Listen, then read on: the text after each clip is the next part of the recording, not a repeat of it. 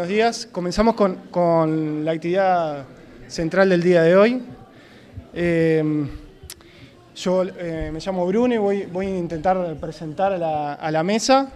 Este, tenemos a dos compañeros de, eh, Buenos Aires, de la Universidad de Buenos Aires y de la Universidad de San Martín, Nacional de San Martín. Este, eh, Verónica me pidió para presentarse ellos, así que yo voy a únicamente presentar la mesa. Este, antes de presentar la mesa, le, voy a entregar algunas cosas en base a lo que estuvimos discutiendo en estos días. Una cosa eran los ticholos, porque no sabían qué era. Este, yo le conté que había coordinado Rivera. Este, no tenía un paquete entero y le traje dos ticholos a cada uno. Este, sí, no, no tienen que probarlo ahora, pueden dejarlo para después. Eh, otra cosa es eh, uno de los libros en los cuales hemos publicado algunos compañeros que se llama Coproducción de Conocimiento en Integralidad, porque una de las discusiones que tuvimos es sobre la relación investigación, extensión y enseñanza. Se los dejo. Y después hay otros libros acá, este, sobre todo de la universidad y de extensión. ¿Me escuchan ahora? Sí, ahora. ¿Mejor? Bien. Eh, la intención de un poco de la mesa es, poner en discusión algunas cosas que estuvimos eh, haciendo con, el grupo de estudios sociales y culturales sobre deporte durante el año y también eh, con el grupo de problemas sobre la enseñanza y con el PDU FISAL, este, que es el Polo de Desarrollo Universitario que hay en Rivera, este, sobre la relación de ciencias y políticas públicas, sobre todo ciencias humanas y sociales y las políticas públicas. Este, lo único que voy a advertir al inicio es la cantidad de tiempo, hay más o menos 40 minutos de, exposición eh, que se lo van a repartir entre los dos indiferentemente, y mm, algunas de las cosas que, nos preocuparon para, para, por qué esta mesa y por qué los dos compañeros que trajimos. Este, en, el grupo, entre el año pasado y este, este empezamos con, la investigación sobre violencia en el deporte en el 2015, em, percibimos dos oleadas que hicieron que definamos una triple agenda, una agenda política, mediática, o sea, ¿qué, estudiar? ¿no? Bueno, nos preocupan qué sucede en las políticas públicas, qué sucede con los medios de comunicación y una agenda académica que tiene que ver con los intereses propios del grupo. Sí. No tiene audio en Paysandú. ¿Ahora? ¿Ahora? Ahora sí. Perfecto. Bien. Ahora, sí, ahora agarramos el... Con... Bien. Les cuento que están conectados la gente de Paysandú y Maldonado, falta la gente de Cerro Largo. Este, em, advertimos dos oleadas que influyen sobre las ciencias humanas y el, deporte. Eh, en las ciencias humanas en general, que, es la preocupación central, la, primera oleada de, la que voy a introducir es sobre las políticas conservadoras, eh, y la segunda oleada es sobre la ciencia objetivista y purista, eh, que está influyendo sobre nuestras agencias de investigación y las políticas públicas en general. Es decir, este, la primera tiene que ver con, el ascenso de las políticas conservadoras regional e internacional, de las cuales algo van a hablar los compañeros, y también sobre este, por qué estamos en constante búsqueda de la ciencia pura, de las buenas prácticas y, de las neurociencias que buscan lo bueno en los sujetos. Un poco eso para introducir que son dos oleadas que están directamente relacionadas y que influyen obviamente sobre, sobre nuestro trabajo y sobre nuestras prácticas, en el caso de educación física, sobre las prácticas docentes. Bueno. Bueno, buenos días para todas y todos. Muchas gracias por la invitación. Para nosotros es un placer estar acá, poder colocar algunas cuestiones en torno a las ciencias sociales y las ciencias humanas que abordan el deporte y en su cruce con las políticas públicas. Así que bueno, eh, muy amables a todos. Y nos, plantearon cuatro ejes para discutir, eh, que nos dividimos entre José y yo. Eh, estos ejes son, eh, son preguntas que, bueno, disparadores para comentar el caso de Argentina, pero bueno, precisamente lo que nos interesa es armar un debate con ustedes, un intercambio, que ustedes eh, planteen reflexiones, hagan preguntas y también, bueno, presenten sus dudas, que seguramente después de nuestras dos exposiciones van a quedar muchas. hay, cuatro, hay cuatro ejes que nos plantearon los compañeros que organizaron la mesa. Uno, cuáles han sido las relaciones de nosotros como investigadores, investigadoras, con la formulación de políticas públicas con el diseño de políticas públicas, un segundo eje que es muy parecido al primero, que son los aportes de las ciencias sociales y las ciencias humanas dedicadas al deporte, eh, al campo, a otros campos de conocimiento y a la formulación de políticas. Un tercer eje que tiene que ver con eh, cuáles son los temas que nosotros consideramos que deberían ser también como parte de la agenda política, incluso de la agenda mediática, eh, que las ciencias sociales puedan realizar. Y un cuarto eje que sería cuáles serían los eh, futuros temas para investigar en ciencias sociales, ciencias humanas en torno al deporte. Después hay una estudios sociales de la Universidad de San Martín, yo también. Eh, él es doctor en antropología por la Universidad de Buenos Aires y yo soy doctora en ciencias sociales. Entonces, los ambos eh, comenzamos a trabajar para nuestras tesis de licenciatura en antropología eh, con los hinchas que integran las barras bravas en Argentina, ¿sí? que incluso nosotros tenemos la postura de no llamar barras bravas, sino usar la terminología propia de ellos, que son, ellos se denominan hinchas o se denominan barras. Entonces, eh, comenzamos nuestras investigaciones eh, de campo, precisamente porque la antropología se, em, caracteriza por hacer un, tipo de trabajo eh, de campo de tiempo, de tiempo prolongado con los grupos sociales que elegimos para estudiar con los cuales trabajamos. Y bueno, se define también la etnografía a grandes rasgos, ¿no? Estoy eh, hablando eh, por la eh, observación participante y las entrevistas en profundidad. Entonces, comenzamos esas investigaciones en 1999, en el siglo pasado. Ustedes lo que tienen que decir es que no parecen tan viejos. claro, yo era más alta, tengo que decir. Entonces, em, comenzamos ya hace un montón de tiempo esas investigaciones que bueno, fueron eh, similares en la medida en que tratamos de entender cuáles eran los significados del aguante, que es una categoría nativa estructurante de la identidad y la pertenencia de los hinchas en Argentina. Seguramente acá también es una categoría que, que digamos, genera pertenencia e identidad entre los hinchas de los cuadros uruguayos. En Argentina eso es como muy notorio. Entonces trabajamos eh, en torno a esa categoría y en torno a cómo estaban eh, compuestas las hinchadas de fútbol. O sea, ahí hay como una base eh, común, ¿no? Con, entre los dos, entre los dos trabajos. Después yo hice más un trabajo entre fútbol y política, me interesé más por los procesos políticos internos de los clubes de fútbol, trabajé puntualmente eh, con la hinchada eh, en el Club Independiente, que está ubicado en el partido de Avellaneda, al sur de la ciudad autónoma de Buenos Aires, y José hizo una primera etnografía con un club, Club Colegiales, que es un club del ascenso, y después con el Club Huracán. Entonces, y él realmente es el referente, el especialista de violencia en el deporte en Argentina. Em, bueno, así que esta es la presentación. Con estos cuatro ejes, José va a comentar el primero, que es la relación entonces entre que hemos tenido como investigadores, eh, puntualmente su propia experiencia como investigador en torno al espacio de las políticas públicas, los aportes que se han hecho desde las ciencias sociales y ahí me, me acoplo yo con algunos comentarios respecto de los otros ejes. Buen día a todos. Eh, nuevamente, muchísimas gracias por la invitación, muchísimas gracias a, la Universidad de la República, a ICEF, a Bruno, a todos los que nos han invitado aquí. Eh, estamos muy contentos de estar acá. Eh, como bien dijo Vero, mi, deseo para, para, hoy, estos 20 minutos para charlar con ustedes, tiene que ver con hacer una reflexión acerca de la relación entre ciencias sociales y humanas y las políticas públicas o la creación de políticas públicas a partir de mi trabajo de campo con eh, Barra Bravas. Yo hice, como dice Vero, hice varios años de investigación con Barra Bravas con el objetivo de entender los sentidos de la violencia para los Barra Bravas, que era lo que los Barra Bravas pensaban como violento. Y entonces, la primera reflexión es, ¿para qué sirven las ciencias sociales? ¿Para qué sirven las ciencias sociales en función de su relación con las políticas públicas? Y creo que lo primero para mencionar es que eh, la idea de servir es, un eje de discusión muy importante, no lo vamos a dar acá porque nos lleva para otro lado, pero si nosotros pensamos que las ciencias sociales y las ciencias humanas tienen que servir para algo, eh, lo que tenemos que pensar es, bueno, sirven en dos dimensiones diferentes. Primero sirven para mejorar, eh, sobre todo la relación entre ciencias sociales y deporte, sirve para mejorar siempre nuestros conceptos nuestras, eh, nuestras herramientas teóricas.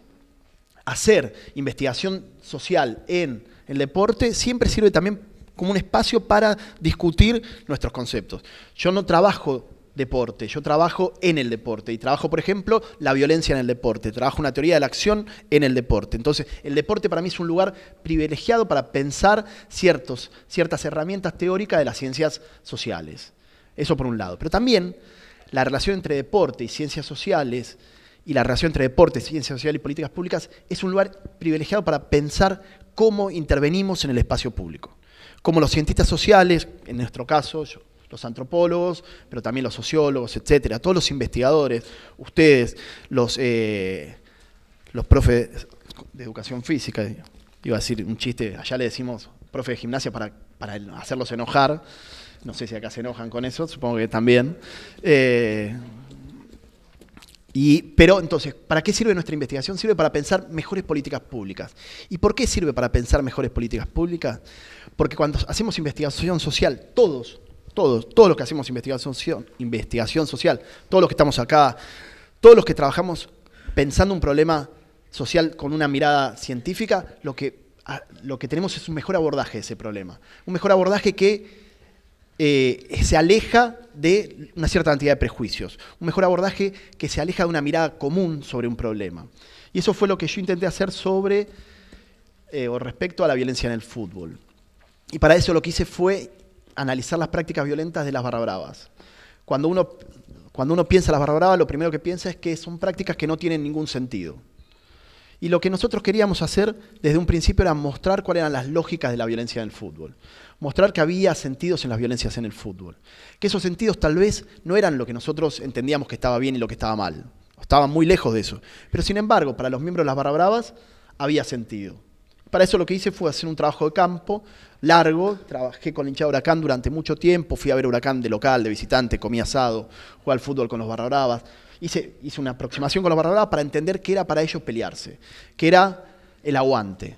Y entonces lo que, lo que busqué fue era esos sentidos que tenían las prácticas violentas para poder luego, si nosotros entendíamos esos sentidos, podíamos pensar políticas públicas para la prevención de la violencia. Si nosotros entendíamos los sentidos de la violencia, estábamos muy alejados de los que pensaban que la violencia en el fútbol era la marca de el sinsentido, la sinrazón, del salvajismo. Ustedes verán cuando aparece representada la violencia en el fútbol en los medios de comunicación, aparece representada como la señal máxima de la incivilización. Y por el contrario, cuando nosotros trabajábamos con los barra bravos, veíamos que tenía lógica la violencia. Una lógica que tal vez para nosotros es ilógico, desde nuestras concepciones de, lo que está bien y lo que está mal, pero para ellos estaba bien. Entonces, mi, deseo, mi primer deseo era pensar esas violencias. Eh, teniendo en cuenta que aquello que se define como violento, y eso está muy bueno para pensar el concepto de violencia, es siempre un campo de disputa que lo que nosotros definimos como violento, otros actores lo pueden pensar que está bien. No toda la sociedad está de acuerdo acerca de qué es violencia y qué no es violencia. la violencia es un campo de disputa por, la legitimidad. Entonces, los barrabravas creían que sus prácticas eran legítimas, como eran legítimas, creían que estaba bien. Nunca entendían que era algo malo. Por más que sabían que legalmente estaban perseguidas sus, acciones. Sabían que lo que hacían legalmente estaba mal, pero para ellos pelearse estaba bien. Y de hecho no utilizaban la idea de violencia, utilizaban la idea de aguante, de combate, un montón de, de, formas de referirse a sus prácticas que le daban legitimidad a sus prácticas. Entonces, a lo largo de mi trabajo lo que hice fue intentar entender esos sentidos de la violencia. Eh, cuando entendimos esos sentidos, me parece que llegamos a cuatro resultados bien generales, después si quieren los ampliamos, pero bien generales de la violencia que nos sirven para nosotros para pensar políticas públicas y después les cuento qué pasó con, cuando pensamos políticas públicas. Lo primero, y lo más, lo primero, no lo más interesante, pero lo primero para pensar la violencia en el fútbol es que la violencia en el fútbol siempre se reduce a las barra bravas. Y eso es un error enorme en el fútbol argentino, supongo acá también. Porque si nosotros vemos bien el fenómeno violento en el fútbol, hay un montón de actores que también tienen prácticas violentas espectadores que no son parte de las barrarabas, jugadores, dirigentes, la policía. Actores que tienen prácticas violentas pero que quedan muchísimamente, muchísimamente no, muy rápidamente invisibilizadas sus prácticas y las únicas prácticas violentas que se ven son las de las barra hay como un juego de luces y sombras y lo primero que, pensamos cuando hablamos de violencia en el fútbol es de las barra bravas. Y sin embargo, lo que sucede es que ese, ese, ese efecto de luces lo que hace es iluminar un solo actor y olvidarnos de las prácticas violentas del resto de los actores. Y entonces, ahí tenemos un primer problema para pensar políticas públicas, porque las políticas públicas están siempre dirigidas a uno solo de los actores violentos en el fútbol, que son las barra bravas. Y se olvida de trabajar en el, en el resto de los actores que también tenemos prácticas violentas. Tenemos, ¿no? Y me incluyo a mí que soy espectador que no soy parte de las barra bravas, que tenemos prácticas violentas. Eh, y entonces, ahí eh, después voy a trabajar sobre este punto un poquito si tengo el tiempo es necesario pensar de qué manera se juega un juego muy, muy cínico de presentar un solo actor como violento y olvidarse de todo el resto de los actores que también tienen prácticas violentas en el mundo del fútbol. Ese era el primer punto que me parecía interesante. Cómo, para pensar las violencias, hay un efecto de luces y sombras que ilumina un tipo de violencia y no otras.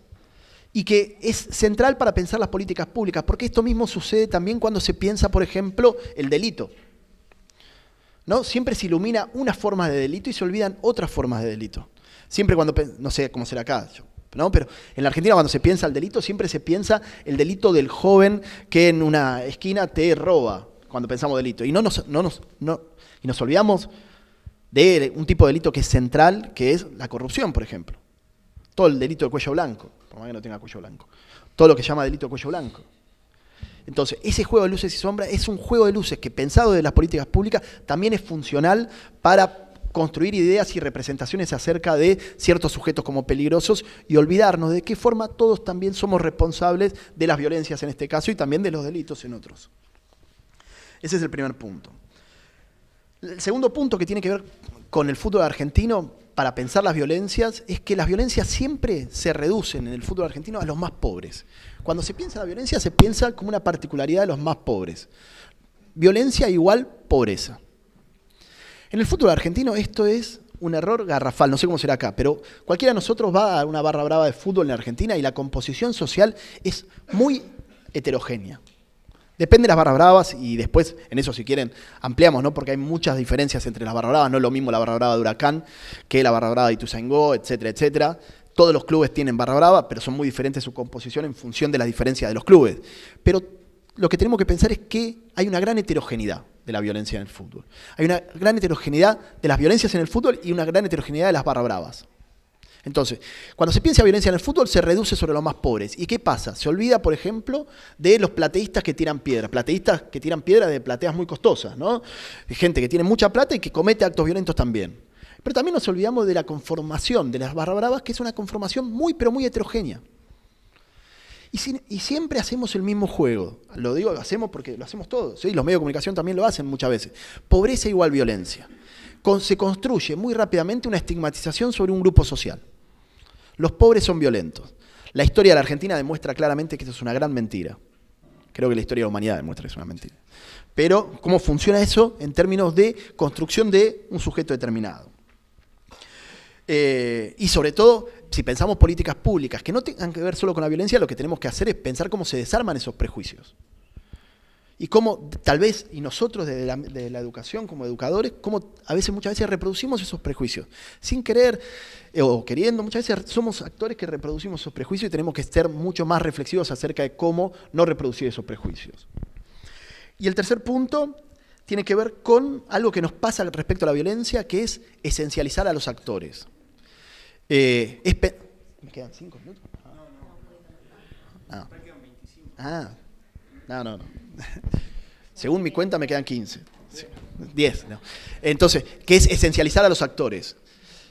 Eh, ¿Qué sucede? Se piensa al, que comete un acto violento como el violento. Y la violencia deja de ser una particularidad del actor que lo define en un contexto determinado para ser una particularidad ontológica de la persona los violentos. Y eso fíjense cómo funciona también en el marco de la educación, que es un problema que llevamos respecto a cómo categorizamos a los actores.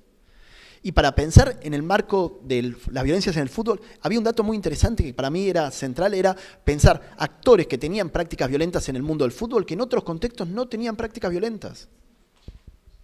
Yo siempre cuento como ejemplo, por lo gracioso, un, miembro de la Barra Brava de Huracán eh, que era Barra Brava, que construía su masculinidad a partir de la violencia en el fútbol, o sea que se representaba como verdaderamente hombre a partir de pelearse, y para él la única forma de pelearse los sábados, la única forma de sentirse hombre los sábados era pelearse y los domingos era Boy Scout.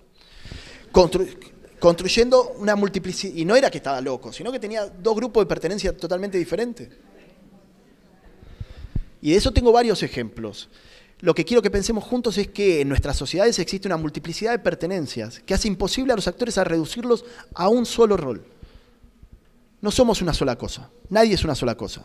Y un barra brava no es una sola cosa. Y alguien que comete un acto violento en el mundo del fútbol no es una sola cosa. Entonces, para pensar políticas públicas, nada mejor que pensar a los actores como múltiples. Porque lo que, podemos, lo que nos da una herramienta central para pensar que la prevención es posible. Que lo que hace que haya actos violentos es la, legitimidad de la violencia en ese contexto determinado. Y no que es un actor violento. Porque si es un actor violento, lo único que queda es la cárcel o el manicomio para todos. Y sin embargo, si nosotros pensamos que son actores que cometen actos violentos en un contexto determinado, podemos pensar políticas públicas y de prevención para eso. Y el cuarto punto que tiene que ver con pensar las violencias en el fútbol en clave más histórica, que es, siempre hubo violencia en el fútbol. Desde que hay fútbol hay violencia clarísimo. Pero en los últimos años hubo muchas más violencias. Entonces, ¿cómo pensamos esas violencias? ¿Por qué, qué pasó desde la década del 70 a ahora que hay cada vez más violencias en el fútbol? Y entonces, me parece sumamente interesante ahí articular con ciertas concepciones teóricas de la sociología y de la antropología que suponen y proponen que la, que la sociedad contemporánea ha hecho de la multiplicidad de pertenencias un lugar central. ¿no? Uno, hace, hace 30 años, en la década del 70, uno, el trabajo era el lugar central de la construcción de la identidad. Uno, no sé cómo será acá, pero en la Argentina uno conseguía un trabajo, se jubilaba en ese trabajo y el trabajo te ordenaba toda tu vida. Ahora eso ya no sucede de la misma forma. Entonces, lo que sucede es que hay una multiplicidad de lugares donde uno se construye como sujeto. Esa multiplicidad de lugares donde uno se construye como sujeto, los lugares que hacen de la violencia como un lugar legítimo empiezan a tener importancia, cosa que antes no acontecía. La, violencia era ilegítima, no tenía tanta legitimidad antes. Y sin embargo fue ganando legitimidad. Y fue ganando legitimidad porque el mundo del trabajo y el mundo del Estado y el mundo de la escuela, que ordenaba todas las construcciones sociales, han perdido la relevancia que tenía antes. Entonces, si nosotros queremos pensar políticas públicas, un lugar central para pensar las políticas públicas es cómo construir espacios de socialización que no pasen por la violencia.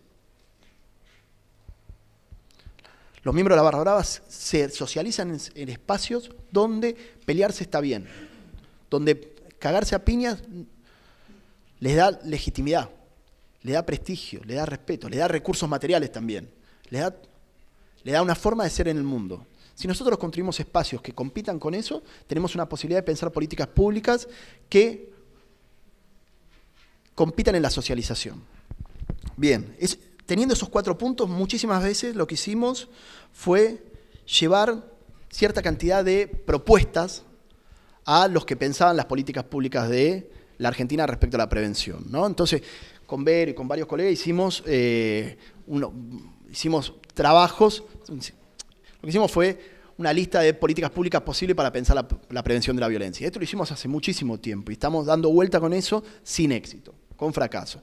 Entre, esa, entre ellos lo que pensábamos era pensar la violencia en el fútbol en la multiplicidad de los actores, trabajar con todos los actores, trabajar con la policía, por ejemplo, para pensar la formación policial que debería ser central para la prevención de la violencia, trabajar con los medios de comunicación y dar cuenta de cómo los medios de comunicación también legitiman formas de violencia y ponen en muchos casos a los actores que cometen actos violentos en un rol central y protagónico, generando ideas de, deseo de los jóvenes de ser como.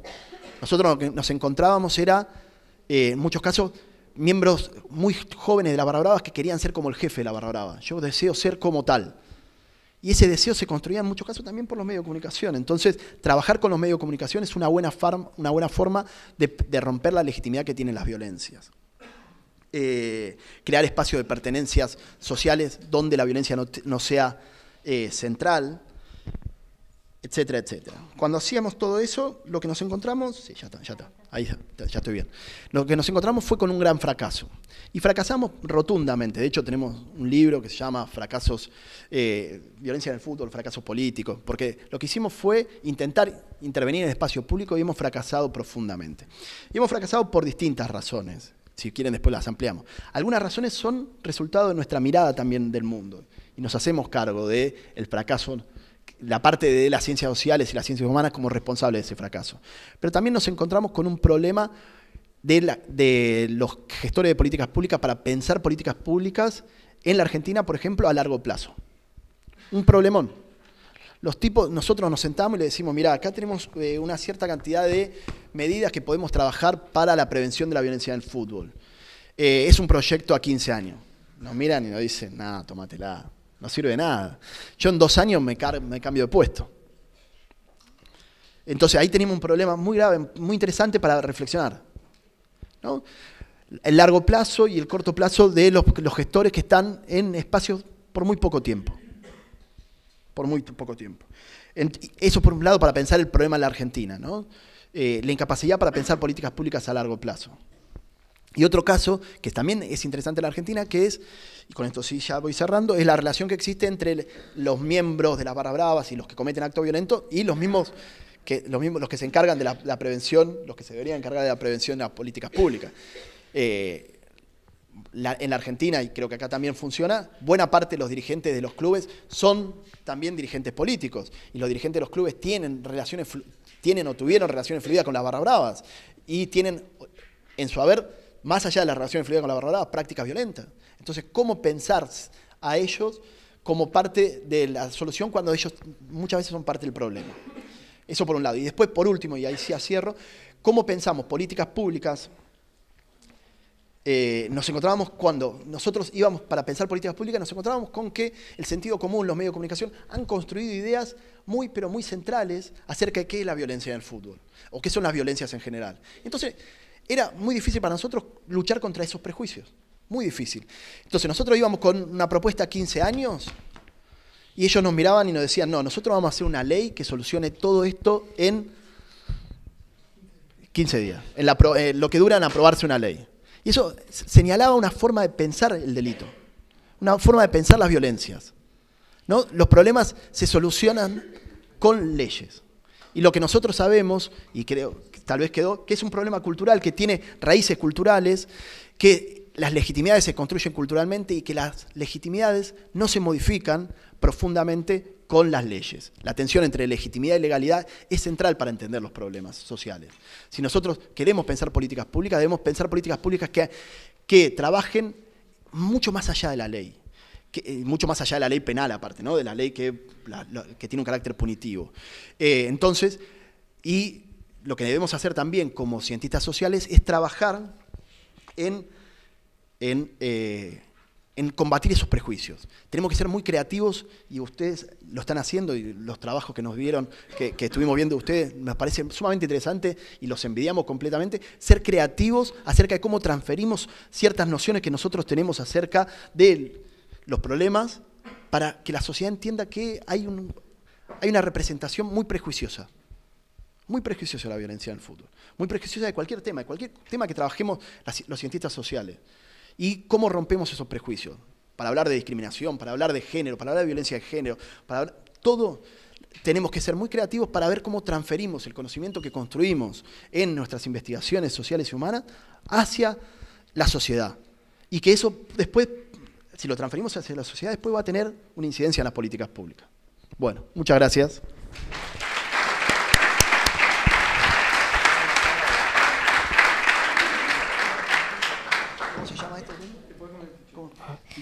Bueno, para... Voy a hacer en vivo la prueba del ticholo. Va a catar el ticholo. Bueno, para completar... Para completar lo que decía José respecto de este segundo punto que refiere a los aportes de las ciencias sociales a la formulación de políticas públicas y a otros campos de conocimiento, yo quería sintetizar esto, ¿no? que, en definitiva las ciencias sociales y humanas eh, ayudan a, realizar una suerte de diagnóstico eh, en torno a un problema, a relevar un estado de cuestión. En el caso de la violencia en el fútbol, bueno, porque nosotros tenemos una tradición en el abordaje de, la violencia física, de mayormente física, eh, en torno a las barras y otros hinchas que no son precisamente eh, de, estos, grupos, pero también podemos indagar acerca de eh, la discriminación, como dijo José al final, ¿no? Eh, hay un estudio muy reciente acerca de la discriminación, de la xenofobia, el racismo, homofobia, a partir de los, de los cantos de fútbol de un compañero que se recibió de doctor en ciencias sociales por la Universidad de Buenos Aires, de forma muy creativa, él sí, muy creativa. Sí, es creativo.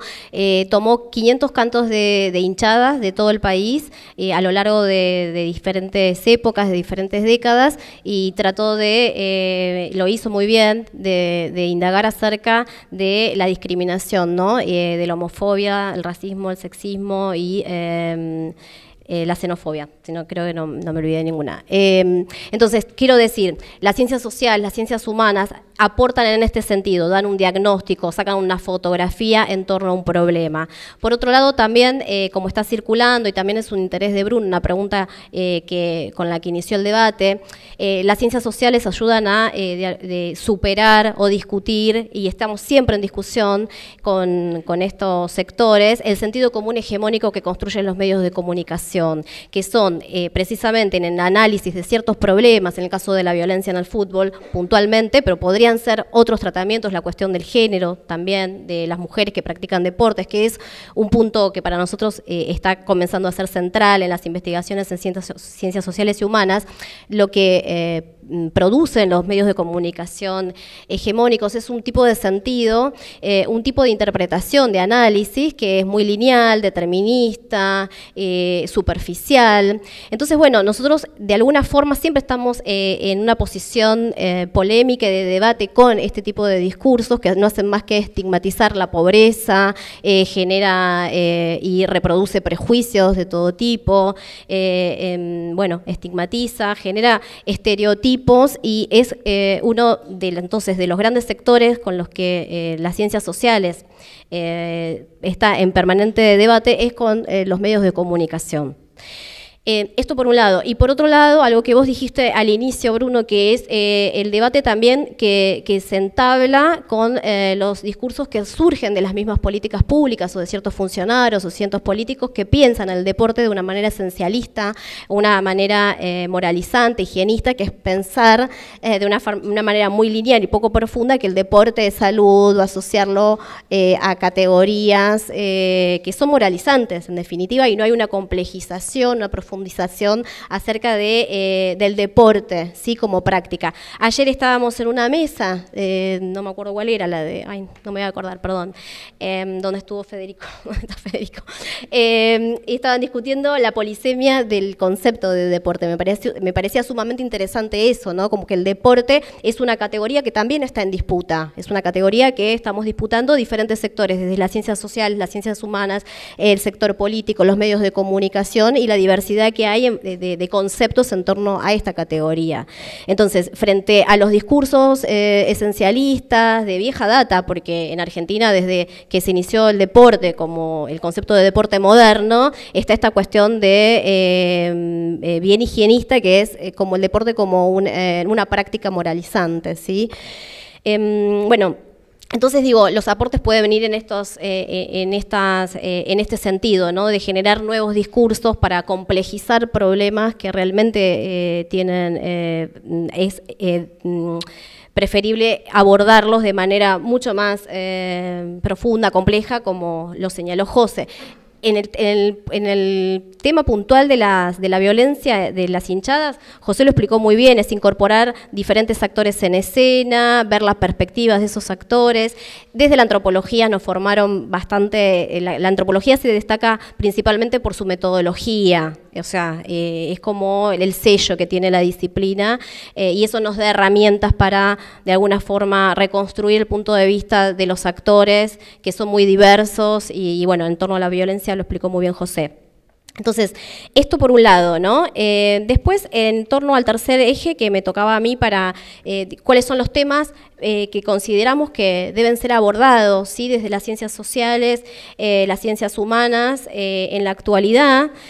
Bueno, eh, hay un tema que estamos abordando de forma más organizada y sistemática desde hace un año y algunos meses, que es el tema de la participación de las mujeres en el deporte. Hay estadista, eh, estadísticas que dicen que eh, las mujeres tienen menos posibilidades de acceso a la práctica, a la actividad física y a los deportes. Entonces, siendo en Argentina el fútbol, porque es puntualmente las investigaciones en torno al fútbol, tan central es el deporte más importante, bueno, hay tres Em, estudiantes que ganaron la beca CONICET para su formación de posgrado, eh, para hacer un doctorado. Eh, ellos, eh, una es Mariana Ibarra, em, Gabriela Gartón y Martín Litke. Los tres ganaron el año pasado la beca CONICET para iniciar sus investigaciones en torno a las mujeres que practican fútbol en diferentes niveles, en la liga más importante, así como fútbol recreativo. Eh, y em, bueno, es precisamente un desafío, eh, incluso para mí, yo soy directora de, los tres, eh, y yo estoy haciendo un trabajo sobre boxeo y me interesa también tanto los boxeadores como las boxeadoras, entonces hay una discusión de género que por suerte estamos empezando a dar en Argentina. Entonces, eh, solo para mencionar el trabajo de Mariana Ibarra, Mariana Ibarra, los tres están utilizando una, las técnicas de la etnografía, eh, hacen trabajo de campo con jugadoras y eh, Mariana tiene la particularidad de que es licenciada en Ciencias de la Comunicación, con lo cual está nuevamente la cuestión del rol de los medios de comunicación en su trabajo. Entonces, entre algunas de las preguntas que ella se hace, seguramente acá en Uruguay eh, hay, no sé si hay trabajos ¿no? sobre género, eh, sobre mujeres, ¿no? porque la cuestión del género ha sido estudiada en Argentina, pero en torno a las masculinidades, precisamente de esta masculinidad fuerte que se constituyen en los estadios de fútbol, no así eh, trabajos sobre mujeres. Entonces, una de las preguntas que se hace Mariana es, puede ser considerado, perdón, dice, ¿cuáles son las imágenes que la prensa local construye sobre las mujeres y su relación con la práctica futbolística? ¿Cuáles son los puntos de concordancia entre las representaciones que las mujeres que juegan al fútbol hacen sobre sí mismas y las representaciones de los diarios locales. ¿Qué lugar tiene el fútbol femenino en la construcción de la agenda deportiva? Bueno, por supuesto, parte de un dato objetivo que es que las gramáticas de producción que sostienen al discurso futbolístico provienen mayoritariamente del universo, del universo masculino. En tal sentido, las mujeres son observadas y representadas ¿no? por los medios de comunicación por la voz de otro masculino que las jerarquiza en su rol. O sea, esto es muy evidente cuando nosotros hacemos una lectura de los medios de comunicación, cuando abordan eh, a las representaciones sobre mujeres en el deporte. Primero que hay pocas representaciones sobre deportes practicados por mujeres, eso desde el vamos. O sea, en Argentina aparecen las Leonas, que es el equipo de, de, mm, de hockey, ¿sí? que es muy prestigioso, pero aparece cuando ganan o cuando eh, tienen algún torneo importante. Y después hay una ausencia ¿sí? de representaciones, hay una subrepresentación de las mujeres en, en general en el abordaje de los medios de comunicación. Em, entonces, eh, ya hace parte de un dato que es un dato objetivo eh, y cuando se habla de las mujeres generalmente se lo hace apelando a criterios no solo deportivos, de su destreza en el deporte, sino también algún comentario acerca de su belleza, apariencia física, digamos, estos son como constantes en, la, cobertura de los medios de comunicación. Entonces, bueno, precisamente ahí volviendo a la cuestión del aporte que puede hacer las ciencias sociales, puede poner de manifiesto esta jerarquización acerca del rol de las mujeres en el deporte, puede poner en evidencia el uso de estereotipos, las estigmatizaciones, el machismo. En, Argentina hay un diario que seguramente ustedes lo conocen, es el diario Le, que es el diario de deporte supuestamente, pero es la mayor parte está dedicada al fútbol y es sumamente sexista y sus abordajes eh, están permanentemente este, eh, con el uso de estereotipos acerca este, de las mujeres. Entonces, digamos, las ciencias sociales, ¿qué pueden hacer? Hacer un diagnóstico, dar cuenta de esta, de esta situación en torno al fútbol jugado por mujeres. Y en términos de enseñanza, a mí me parece que ahí hay todo un desafío porque precisamente no somos tan creativos y no tenemos las herramientas, eh, herramientas para generar eh, como algo así como si fuera una política pública en torno a la enseñanza. Digo, ustedes que vienen de la educación física, la mayoría, ahí mi pregunta sería, ¿no? ¿Cómo romper, desnaturalizar ciertas formas de enseñar el deporte en las aulas, ¿no? que eh, yo no sé acá cómo es, pero en Argentina hay una tendencia, aunque se, se está tratando de superar eso, de dividir entre eh, deporte para mujeres y deporte para varones. ¿sí? Entonces hay profesores que cuentan que hacen, tienen una batalla permanente para eh, generar otro tipo de enseñanza en torno al deporte, para hacer juegos mixtos o que no haya... Y el otro día precisamente escuchaba ayer en una de las mesas, o antes ya no me acuerdo en qué reunión, eh, esta división de que para los varones hay deporte y para las niñas hay juego. ¿sí? Esta, eh, entonces, digamos, eh, las ciencias sociales pueden aportar en este sentido, ¿no? en este sentido, hacer un cruce con la educación que se da, se imparte en las escuelas. Generar algo así como una propuesta pedagógica para la educación física, aunque no tengamos las herramientas, entrar en diálogo y ahí eh, aplaudo lo que estás haciendo, Bruno, en términos de eh, eh, armar alguna una suerte de red en términos interdisciplinarios, desde, la, desde la antropología, la sociología, la educación física. Entonces, em, esto por un lado, em, como aporte me parece que es... central, por lo menos es algo que me está inquietando en los últimos años, en el último año y medio, y después hablar de las, em, las nuevas...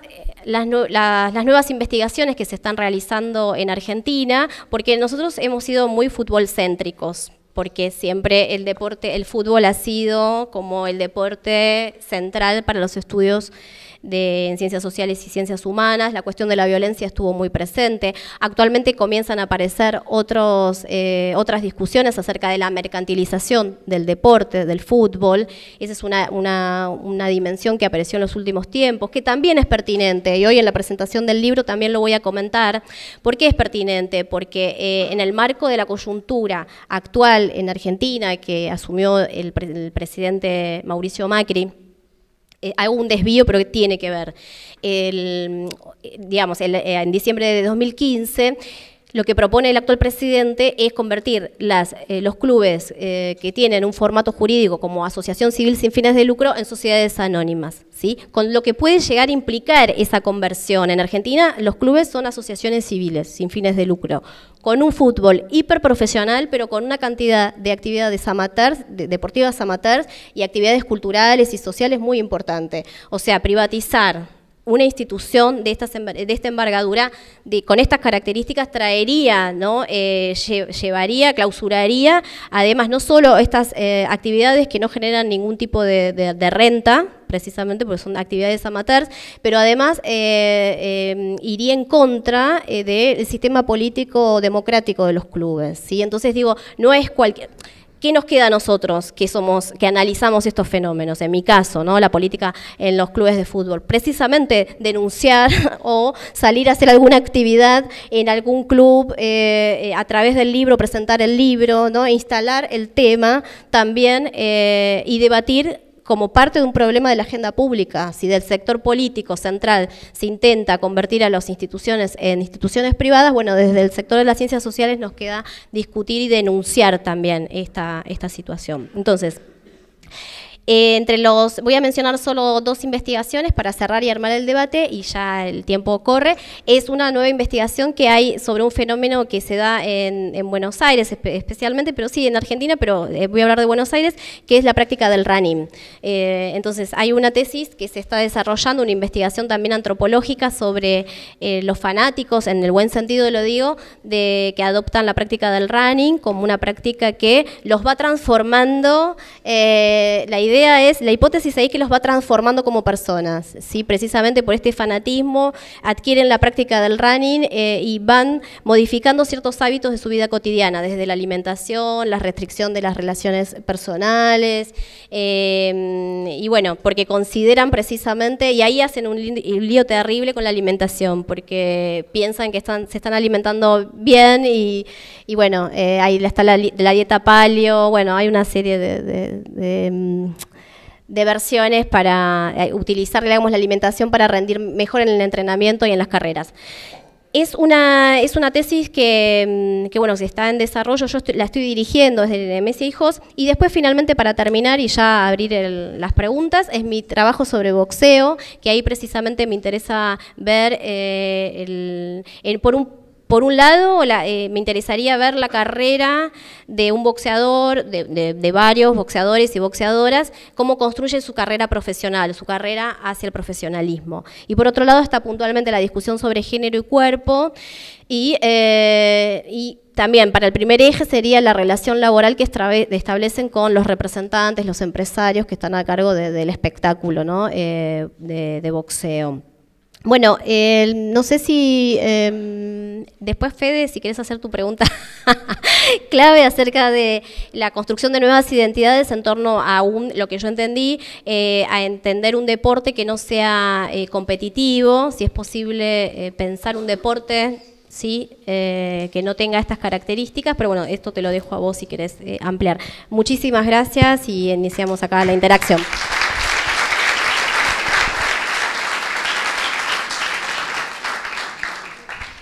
Bueno, vamos a abrir el espacio. ¿Cómo? Muy bien con el tiempo. Bien. Eh, ¿Cómo estuvo el ticholo?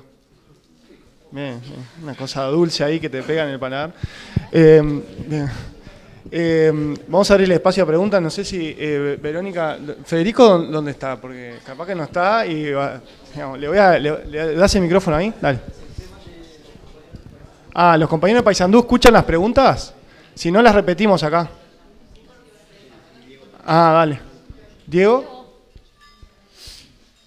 Bien. Dale, Fe. Bien. Em, bueno, qué compromiso, Verónica. Las preguntas iban por escrito y la tengo que hacer hablando, pero bueno. Em, un poco... vamos a juntar, eh, no sé, tres o cuatro preguntas, ¿les parece? Bien.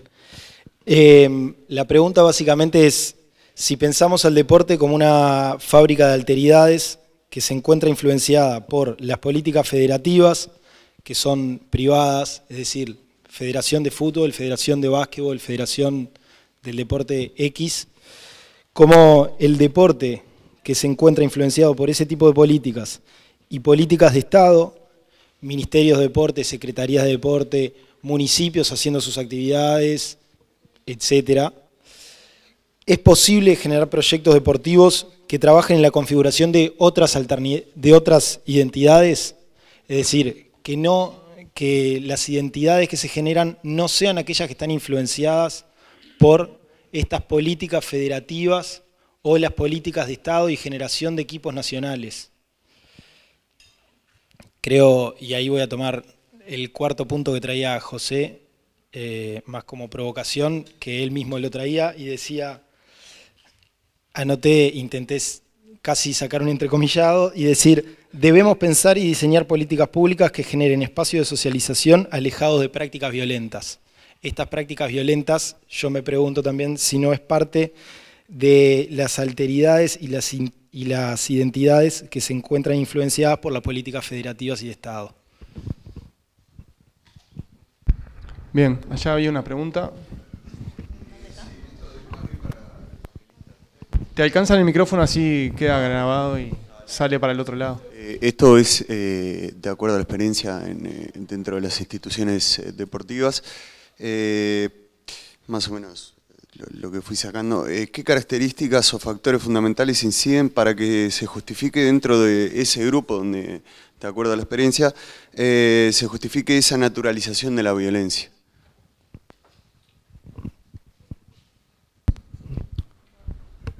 ¿Qué más?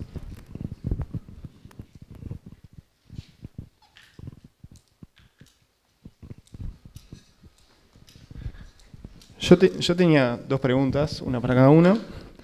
Em, para Verónica, em, algún, que nos hagas algún comentario sobre la cuestión metodológica de la etnografía eh, porque en las ciencias de la educación eh, parece que está vetado que el docente estudie sobre su propia práctica, entonces me parece que hay una conexión importante ahí entre educación física y antropología que, se puede pensar. Eh, para José, hablaste de mm, que la legitimidad se construye culturalmente.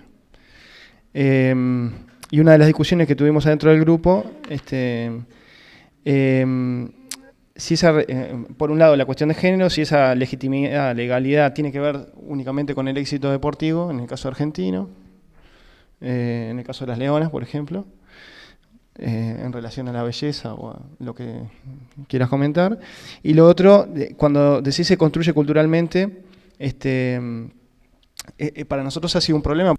Hay mucha bibliografía en torno a, la idea de cultura, este, desde la ciencia hay como varias ramas que trabajan la cultura, las teorías de la, cultura. Este, y bueno, cuando decís se construye culturalmente, ¿de qué, ¿de qué estamos hablando? ¿Cultura popular? ¿Cultura de masas? Lo que vos quieras ahí.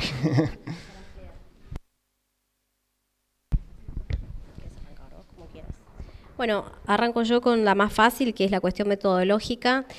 Bueno, como dije en la exposición, la metodología en antropología es un sello, tiene que ver con hacer utilizar determinadas técnicas con los grupos sociales con los que trabajamos, especialmente, lo dije, la observación participante, la eh, las entrevistas, y eh, vivir un tiempo, ¿sí? Eh, esa cotidianidad por un tiempo prolongado, eso bueno, se ve después en la misma práctica. Pero esto no quiere decir que eh, estudiantes de ya sea de grado, de posgrado, de otras disciplinas, acá se llama, ¿cómo que nunca me acuerdo? Eh, disciplinas, no, eh, bueno, carreras, no puedan utilizar estas técnicas. O sea, ninguno de los dos somos fundamentalistas ni defensores de la carrera de antropología y, y entendemos que son técnicas que se pueden usar que todos pueden usar, ¿sí? con un entrenamiento, eh, con un director que vaya eh, orientándolos en esa práctica, y mismo pensando eh, en los estudiantes de educación física, ¿sí? porque muchos pueden hacer estudio de campo en, torno a precisamente a su cotidianidad, ¿sí? a sus em, maneras, incluso eh, en sus contextos de enseñanza, ¿sí? siendo ellos también objeto de, esa investigación. O sea, esto es totalmente válido. Me lo han preguntado en, una, en un curso de posgrado, eh, incluso en Brasil, que eran personas, de, eh, estudiantes de educación, y, tenían el mismo temor de si ellos estaban capacitados o, tenían esa legitimidad, hablando de la legitimidad, si estaban autorizados a hacer etnografía siendo estudiantes de comunicación. Por supuesto que sí, por supuesto que sí, para los estudiantes de, educación, para los estudiantes de educación física, eh, porque es el uso de técnicas y hay que tener cierto rigor y cierta reflexividad en torno a lo que hacemos y por supuesto también pueden ser ellos partes de esa investigación, hacer una suerte de autoetnografía. ¿Sí? Pueden ser, eh, pueden reflexionar acerca del, si es que trabajan, no sé, el, otro día también hablábamos sobre las modalidades de enseñanza. Bueno, eh, ser ellos también parte de ese objeto que se está investigando. Esto es totalmente válido, es posible hacerlo, o sea que aquellos que quieran eh, utilizar estas herramientas, estos recursos metodológicos están totalmente habilitados, o sea, es posible hacer, eh, insisto, eh, autoetnografía perfectamente. yo estoy trabajando con un, en este caso, sobre boxeo y me resulta totalmente ajeno ese mundo, ¿sí? Porque es totalmente exótico, pero mi compañera que está trabajando sobre running, ella es corredora. Entonces eh, eh, se le habilitan un montón de instancias porque eh, conoce de qué se trata, ella tiene que hacer el ejercicio que seguramente si ustedes eligen ámbitos cotidianos de su cotidianidad para trabajar, lo que tienen que establecer es una distancia metodológica. O sea, conozco tanto el objeto y tantas, tantos valores, tantas actitudes me parecen naturales, ahí lo que tengo que hacer es generar algún tipo de distancia. ¿Sí? generar la distancia en lo familiar pero es totalmente posible. Respecto de la pregunta de, Fede, que me quedó dando vueltas, me hiciste pensar los dos días antes de viajar. Em, yo pienso que ahí, o sea, si te entiendo bien, es una cuestión de cómo pensar el deporte por fuera de esta concepción del deporte competencia.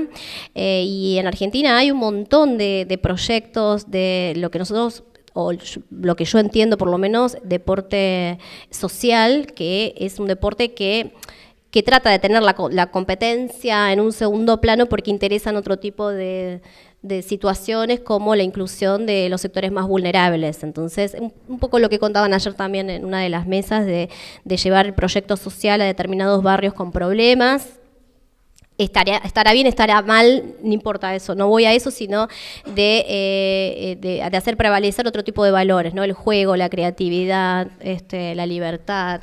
Pero también eh, em, conozco casos de, donde eso tiene un límite, porque los chicos cuando se empiezan a organizar, las chicos y chicas quieren jugar, competir y quieren ganar. O sea, esa tensión creo que es una paradoja que se le presenta a todos aquellos que trabajan en estos proyectos sociales, porque em, en definitiva, a veces estos chicos quieren competir, o sea, hay como un hay una tensión ahí entre el juego y el deporte, ¿no? Que no lo vamos a resolver, yo creo que no, se resuelve. Em, y ya me está saliendo el tonito uruguayo. bueno, ahora te paso. Bueno, eh, lo primero, y para reforzar lo que dijo Vero recién sobre la, la etnografía y nosotros, yo doy, cuando doy curso de metodología, lo primero que decimos, cualquiera puede hacer etnografía. ¿Qué? Los antropólogos a veces se apropian de la etnografía como si fuese, ah, son los dueños, es una pavada. De hecho, en, la Argentina, buena parte de los que nosotros consideramos mejores etnógrafos no son antropólogos. ¿no? no son antropólogos. Entonces, si la etnografía tiene que ser entendida como una sensibilidad que tenga la capacidad para entender al otro, esa sensibilidad se construye, se, aprende y se construye. No tiene, no, no tiene que ver con una disciplina se, se construye en el distanciamiento, se construyen varias de las cuestiones que dijo Vero recién. Entonces, todos podemos hacer etnografía. Eh, bien, respondo algunas cosas, medio desordenado, pero me parece sumamente interesante eh, reflexionar sobre cómo se construye la legitimidad de la violencia y esa legitimidad de la violencia se construye en relaciones sociales, en relaciones con múltiples actores. Eh, para mí es central pensar que los miembros de la barra no están aislados de la sociedad. No, están no son solamente barra son actores múltiples que muchas veces llevan a, sus hijos al mismo colegio que lo llevo yo, eh, a veces trabajan con, nosotros, etcétera, etcétera. Entonces, en algunos contextos construyen la legitimidad de la violencia. ¿Y cómo se, eh, es un proceso lento en el cual, en el mundo del fútbol, se ha construido un espacio donde pelearse está bien? Hay una naturalización profunda de la violencia. Y esa legitimidad, entonces, se construye en relaciones con miembros de la barra brava entre ellos, digamos, pero también por afuera. Y, es central pensar de qué manera en sus múltiples relaciones se va construyendo la legitimidad de la violencia, con los dirigentes deportivos, con los dirigentes políticos, con los en los medios de comunicación, etcétera, etcétera, múltiples relaciones que van haciendo la idea de que la violencia está bien. Nosotros termina un fin de semana y estamos viendo en la Argentina, bueno, cuántos incidentes hubo, si murió alguien, Estamos, ha naturalizado la violencia, hemos naturalizado la violencia. Esa naturalización de la violencia es un proceso eh, dinámico, cultural, ahora vamos con lo de cultura, pero es un proceso dinámico, cultural, que podemos desandarlo y debemos desandarlo. Entonces, es un proceso, la legitimidad se construye en relaciones sociales. Esas relaciones sociales, después vamos a ver, eh, al responder son diferentes. ¿no? Eh, buena parte de los miembros de la Barra Brava tienen relaciones sociales fuertes entre ellas, donde dicen que está bien aguantársela, pelearse, va, vamos a matar, etcétera, etcétera. Pero solamente tienen relaciones sociales con ellos, entre ellos, no. Igual que todos nosotros. Y entonces, en esas relaciones, cuando, cuando, un, cuando un político los invita a comer un asado porque son reconocidos como aguantadores, etcétera, etcétera, se va construyendo la legitimidad de la violencia. Cuando nosotros que somos espectadores, que no somos parte de las barra bravas, los aplaudimos cuando entran con las banderas robadas del club rival, vamos legitimando la violencia. Porque todos sabemos acá que las la banderas robadas se hacen violentamente. Entonces, ¿de qué manera se va legitimando esa violencia? Me parece que es un proceso eh, dinámico en el cual todos somos de alguna forma medio responsables. Y no solamente la violencia de las barra bravas, también nosotros como espectadores, los periodistas, los dirigentes, todos los que somos parte del mundo del fútbol, hemos construido un espacio donde la violencia es posible, en el mundo argentino, en el mundo del fútbol argentino, donde estamos esperando a ver qué pasa, donde cantamos, yo voy y canto una canción donde hay que matar a todos los hinchas de San Lorenzo, donde la muerte del otro es una posibilidad. Es, sumamente interesante. Después cuando voy al cine, o, no sé, voy a ver un recital de La Renga, no canto que hay que matar a todos los chetos. Bueno, pero fíjense cómo funciona la lógica de similitud. Eh, ¿Se entiende lo que quiero decir? Es cómo se construye esa legitimidad en, en, esos contextos y cómo eso tenemos que ser reflexivos acerca de cómo todos somos actores de esa construcción. Bueno, con los cantitos de cancha pasa eso, ¿no? Está naturalizado el canto, eh, participar de determinados cantos y realmente algunos son muy hirientes, con, por lo menos en Argentina, con la comunidad eh, paraguaya, boliviana, y hay, una, hay un uso y una participación en los cantos que es necesario desnaturalizar. Y hablas con los hinchas y ellos te dicen, y, no, pero es el folclore del fútbol, eh, o bueno, esto siempre se hizo así, no es contra la comunidad, sino es contra, contra los hinchas rivales. Claro, que queda en la cancha. Bueno, pero, pero eh, desde las ciencias sociales también hay como un doble juego, ¿no? Es estudiar en el deporte, como decía José, porque queremos entender las lógicas internas de un fenómeno determinado, pero al mismo tiempo es una arena, como decía Eduardo Archetti, ¿no? es una arena eh, que nos permite eh, mostrar, entender, comprender procesos sociales mayores, procesos culturales mayores, ¿no? que no, no quedan solo en el fútbol. O sea que si hay discriminación en el fútbol, puedo entender que eso también se extiende eh, a nuestra cotidianidad, es una, excede el fútbol de alguna forma y no sé por qué dije esto.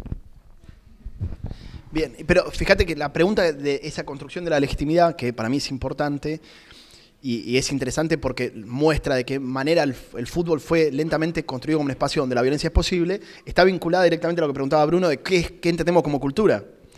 Fíjate que una, para los antropólogos el concepto de cultura es un concepto sumamente importante eh, y, para la ciencia social en general es un concepto sumamente importante. Al principio el concepto de cultura estaba pensado desde una idea de eh, homogeneidad y aislamiento que en los últimos años hemos roto completamente. Hoy en día cuando hablamos de concepto de cultura, lo que no podemos pensar es, cuando hablamos de tal cultura, no podemos pensarla ni aislada ni homogénea.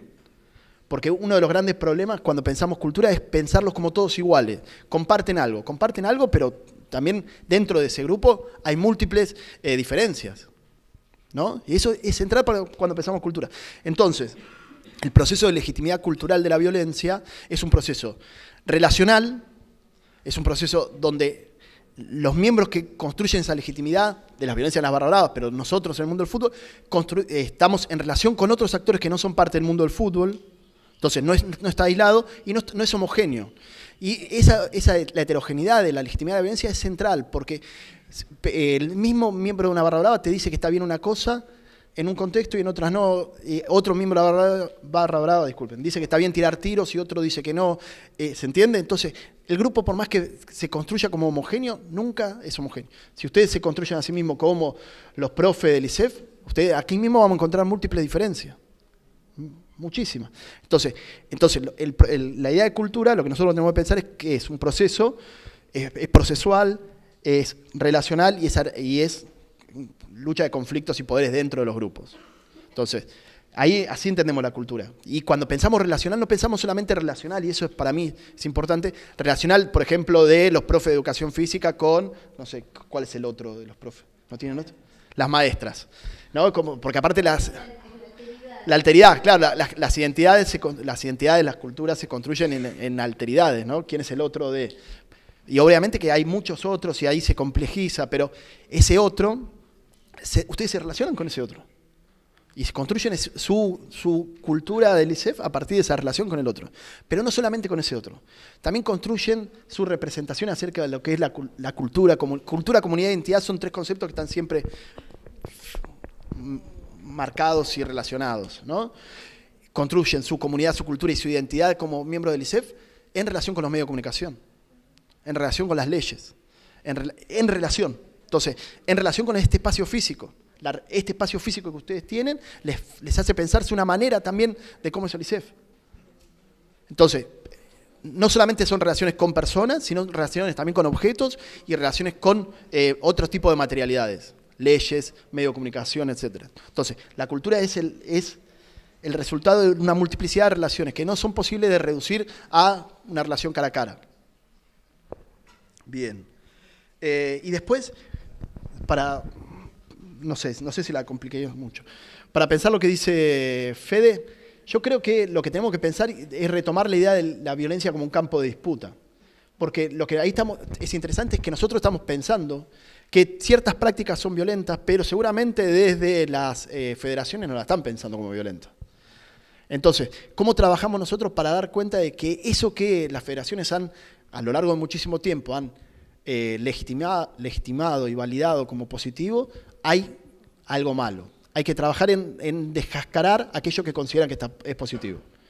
Entonces, es una tarea para discutir lo que es violencia. Ustedes cuando nosotros pensamos lo que es violencia, pero también para pensar otros conceptos que son complicados, lo que, lo que vemos es que es un campo de disputa entre diferentes actores, ¿no?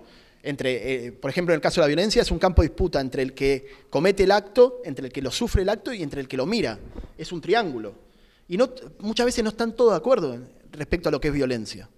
Y eso es interesantísimo, sobre todo para pensar un tema que en la Argentina es contemporáneo y que nos sirve para pensar estos casos, que es la violencia de género.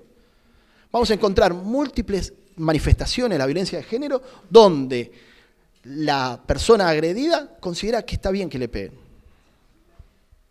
Y los que consideran violencia son los testigos del hecho. Entonces, entender la violencia, entender todo como un campo de disputa de diferentes actores, nos permite a nosotros pensarnos como investigadores sociales, dónde estamos parados, que es la, idea de reflexividad que dijo Verónica recién, para pensar la violencia, pero para pensar cualquier cosa, dónde estamos parados, cómo evaluamos un hecho y después ver cómo el otro lo evalúa para poder pensar políticas públicas sobre eso. Si yo entiendo, por ejemplo, para pensar violencia de género, que vamos a encontrarnos con muchas mujeres que consideran natural que su varón le pegue como una forma de hombría, no sé, se encuentra eso, ¿eh? no estoy diciendo cualquier cosa. Tenemos que pensar política pública para romper esa naturalización de la violencia. Entonces, en ese punto lo que nosotros tenemos que pensar es, bueno, si nosotros consideramos que las federaciones tienen prácticas que podemos considerar nosotros violentos, tenemos que pensar cómo desmascarar y descascarar la construcción de está bien que la federación haga esto. Perdón, y pensando la pensando en la cuestión del deporte que a vos te interesa, Fede, eh, no, que también el deporte, eh, nuevamente para reforzar la idea, es una eh, categoría, es una noción polisémica y que también está en un campo de disputa. Es un espacio, está en un espacio de disputa desde las concepciones que pueden salir desde el poder político, desde lo que ustedes pueden sugerir acerca, y que incluso entiendo que hay heterogeneidad acerca de lo que es el deporte en la institución, en esta institución, lo que pueden pensar las ciencias sociales, o sea, realmente eso se va construyendo el significado procesualmente y hay debates y confrontaciones, negociaciones, digo que es interesante entender el deporte, incluso para nosotros de esa forma. Bien, nos quedan 10 minutos. Eh, si hay otra, alguna otra pregunta. Liber, ¿alguien más? ¿No? Liber y Jorge. Cerramos con las preguntas entonces de Liber y Jorge. Eh, cerramos mejor con las respuestas, ¿no? sí, cerramos con la pregunta. No, no. Eh, no, con esto último que, traían, eh, yo me anoté un par de cosas, como por ejemplo que en el grupo vamos a tener que trabajar con la FIC, ¿no? directamente, si hay alguien de la FIC, por favor levante la mano y nos comunicamos luego. Eh, pero, eh, ¿qué, rol, ¿qué rol le ven ahí y qué posibilidades ¿no? en esto de la construcción de políticas públicas e incluso con los desafíos que, puede llegar a tener pensar la producción de conocimiento y la relación con las políticas eh, como, un primer ya punto de tensión? a la mirada de la interdisciplina o, de la no disciplina, como decían este, algunos en, en, un encuentro que tuvimos hace un tiempo, este, y, si en esto de pensar las políticas a largo plazo, eh, bueno, esa, tensión ahí de, del... Como eh, para pensar la lógica interna del deporte en términos de, su relación con la violencia, ¿no? Y por otro lado, de repente era, aparece más como una cuestión estructural, ¿no? O sea, no es el deporte lo que pueda generar violencia, sino este, cómo se manifiesta quizás en el, deporte. ¿no? En ese sentido, todos podemos ser violentos o en todos los espacios puede haber violencia. El deporte en ese sentido puede ser un espacio más. En, una, en, una, mirada, el deporte se puede ubicar medio como demonio en términos de que produce violencia. En la otra mirada, el deporte es una práctica más que puede ser tornarse violencia, violenta como un juego, como este, una relación de una pareja, como este, la propaganda, el marketing de ciertos productos, etc. Este, entonces ahí ustedes cómo eh, eh, visualizan para poder pensar el deporte en relación a la violencia, etnográfico, este, que va y se mete en el deporte, es una mirada que está por fuera, entonces, eh, ¿por dónde hay que estudiar esta relación? ¿no? Porque si no es sustancial del deporte en la violencia, ingresar al deporte para pensar la violencia, ¿qué implica? ¿no? ¿Qué se busca allí? ¿no? Digo como para poder pensarlo. Eh, sí, yo contesto la de Liber. no, a mí cuando en la exposición de José y bueno, las intervenciones estaba pensando esto que, que me parecía interesante, que lo refuerzo, que es la cuestión de las diferentes temporalidades, los diferentes tiempos que manejan los actores, manejamos los actores que intervenimos, tratamos de intervenir en la discusión sobre deporte y políticas públicas en este caso, la, temporalidad de la política, que es eh, casi inmediata, que es la temporalidad del tiempo político que tiene un político en su cargo o una gestión o un gobierno determinado, en el caso de, renovar ¿no? eh, su gobierno, eh, el tiempo de los medios de comunicación, que son totalmente eh, espontáneos, tienen una lógica de lo inmediato, que dura una noticia un día, dos días y se terminó, y los tiempos académicos, que, que, son mucho más largos, ¿sí? porque hay una presentación de una problemática en términos, entiendo yo, más profundos.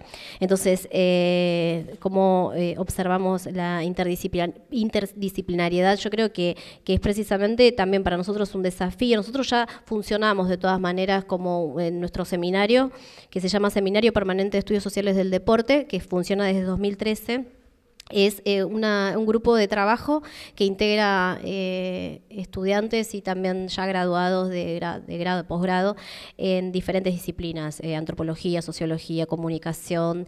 sí nos falta ahí la, la, pata en educación física, que es algo que nos criticamos, ¿sí?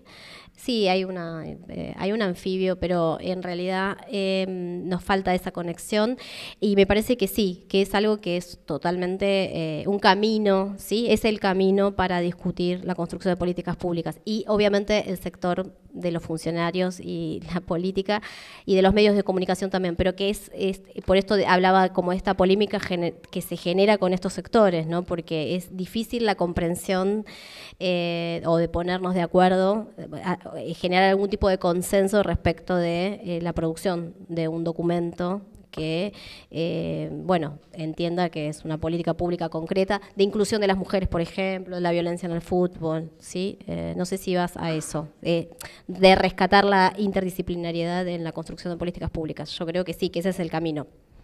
No sé, Liber.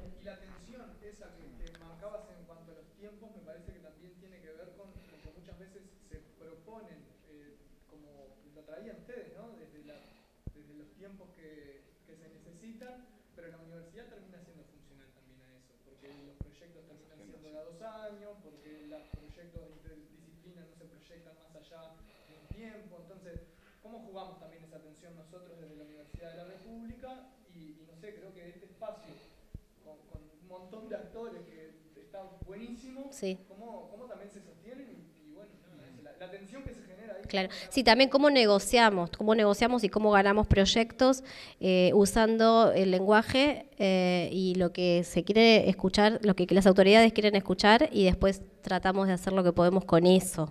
¿sí? Eh, es un, proceso de negociación permanente. Pero lo seguimos después con el cafecito al mediodía. Bien, eh, me parece sumamente interesante la pregunta de Jorge porque encuentra un, tema que hemos discutido muchísimo acerca de cómo, cómo, pensamos al deporte en general, ¿no? Si es, el deporte es, podemos, cuando estudiamos un deporte, ¿estamos estudiando un reflejo de la sociedad o estamos estudiando algo que puede estar aislado de la sociedad? Entonces, en ese juego me parece que hay una... Eh, la pregunta de Jorge está diciendo, bueno, cuando trabajamos violencia en el fútbol, ¿qué hay de la violencia de la sociedad en la violencia en el fútbol? Esa es la pregunta, ¿no? De fondo. ¿Cómo estudiamos eso? Perfecto. Me, parece sumamente interesante, sobre todo para pensar buena parte de lo que veníamos diciendo. Ponen, en la mesa algo de lo que, bastante de las cosas que veníamos diciendo. La primera es, no podemos pensar a los deportes aislados. ¿no? Entonces pensamos a los deportes, a las, nada, nada queda por fuera del mundo relacional. De la sociedad. Entonces, cuando pensamos la violencia en el fútbol y las barra por ejemplo, la pensamos incluida dentro de lógicas que superan a las barra bravas. Las lógicas de la masculinidad de las barra bravas son muy similares en algunas dimensiones a las lógicas de la masculinidad que cruzan toda la sociedad. En ese punto me parece que no podemos pensarla como eh, aislada, pero tampoco podemos pensar que es un reflejo de la sociedad. Entonces tenemos que jugar el juego de dar cuenta de que en cada deporte, en cada deporte, en cada momento determinado, se constituyen ciertos elementos que en la sociedad, ciertas lógicas en la sociedad están dando vuelta, pululando por ahí, se constituyen de una forma particular. Que es el resultado también de las dinámicas sociales. Por eso que decíamos y sostenemos que el devenir de lo que la sociología llama la sociedad posalarial modifica también el mundo del deporte. Entonces, no es un reflejo, pero tampoco está aislado. Lo que sí hacemos como investigadores sociales es entender todo lo que, entender que en los deportes que investigamos, en cualquier práctica que investigamos, hay algo de particular, pero también hay algo de general. Y entonces, entendemos que cómo eh, nuestra búsqueda es ver cómo lo general se ingresa en un espacio determinado y cómo se cocina a partir de ciertos elementos particulares. Entonces, cómo se construye una masculinidad en el mundo del fútbol, por ejemplo, entre las barra bravas, que tiene una lógica de la prueba, muy similar a la lógica de la masculinidad que, transita eh, el resto de la sociedad. Para ser hombre hay que probarlo, y, pero esa lógica de la prueba en el mundo de las barra bravas es en la prueba violenta. En, cambio, en otro lado, la lógica de la prueba puede ser una, un, yo que soy un nueve habilidoso, es gambetear y meter un gol. Mentira, ¿eh? Eh, pero se, se, entiende, son pruebas diferentes. Entonces lo que tenemos que pensar es cómo, qué hay de particular en esa prueba, que tiene que ver con la violencia, pero también que hay de general. Me parece que el juego nuestro como investigadores sociales en cada espacio es dar cuenta de, ese, de, esa, de esa construcción particular. Ahí tenemos algo interesantísimo, porque muestra los vínculos, pero también muestra que cada, grupo social en su eh, capacidad construye elementos determinados, positividades diferentes. Que la violencia tenga un carácter legítimo en ese contexto determinado es todo un dato. Todo un dato. Que supera ampliamente el mundo de la, idea de clase. No es una cuestión de clase. Pero sí hay una cuestión de género que se entrecruza de forma interesante. Entonces, ni reflejo ni aislado. Jugamos en ese juego. Y lo que intentamos entonces es pensar lo general en lo particular. Bien, eso por un lado. Pero después, y respecto también a lo que decía Liber, que me parece sumamente interesante, para pensar esta la, posibilidad de trabajar a largo plazo, es también tener en cuenta no solamente la diferencia de temporalidades, los tiempos cortos o largos de las investigaciones sociales a veces son demasiado largos. Yo siempre recuerdo un caso en el cual nos invitaron, yo trabajo violencia más que deporte, ¿no? ahora trabajo violencia en policías hace muchos años. Nos invitaron a pensar la forma de violencia en el servicio penitenciario. Y el servicio penitenciario nos invitaba a nosotros a hacer una investigación. Entonces le propusimos una investigación de tres años. Y el director del servicio penitenciario nos sacó Sí, sí. No le importaba nada, que hay una investigación rápida con un efecto rápido. Entonces, los efectos rápidos tienen que ver con las lógicas también del sistema político, que quiere un efecto rápido. La mágica, ¿no? Por eso la ley funciona, porque se, cree que la ley tiene un efecto mágico. Yo saco una ley, la prueba al boletín oficial, a los tres días estoy cambiando la, la conducta de los actores sociales. Un delirio que no se le ocurre ni al abogado más trasnochado, ¿no? Sin embargo, hay toda una cuestión de, la política y de los abogados de pensar las leyes como posibilidades para intervenir en fenómenos culturales y sociales. Pero también, y eso para pensar cómo, vamos articulando a largo plazo con actores que superan el mundo académico, también tenemos que pensar que los medios de comunicación tienen no solamente tiempos diferentes, también sino lógicas diferentes. Y la lógica que mueve mayoritariamente los medios de comunicación es el mercado. Y entonces la, la violencia vende y la usan como una mercancía. Por más que nosotros hagamos varios protocolos acerca, protocolos acerca de cómo presentar los hechos de violencia, después los medios de comunicación las presentan porque es una buena mercancía. Ustedes ven los, canales de cable de Buenos Aires y parece que hay 500 asesinatos y es tal vez un solo asesinato y te lo repiten todo el día y lo muestran, lo muestran, lo muestran. Hay una visibilización. Hay muchos asesinatos, ¿no? También, pero no, estamos, no estamos, claro, no, es, no es solo sensación de inseguridad. Pero me parece interesante que nosotros pensemos cómo todos tenemos lógicas diferentes, actores con lógicas diferentes.